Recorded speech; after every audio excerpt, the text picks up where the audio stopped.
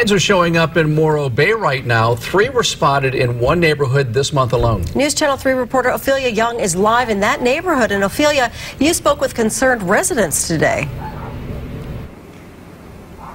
Yeah, you know, dogs barked at almost every single door that I knocked on on this street. It's no wonder that neighbors are most concerned with keeping their small pets away from this mountain lion.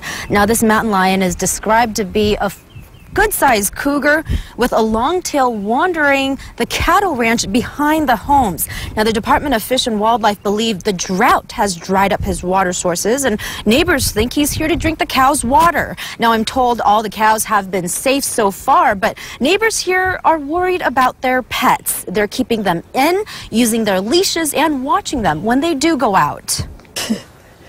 Are you scared, Bella? She'd probably give like that mountain lion a run for its money. the people that are on the other side of the street here that have those backyards that face over where the cattle are, I'm sure they're being very, very careful about their little animals and their children.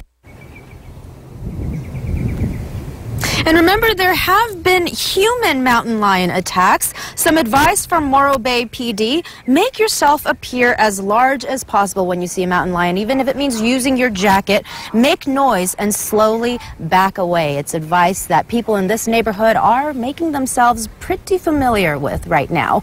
Live in Morro Bay, Ophelia Young, News Channel 3.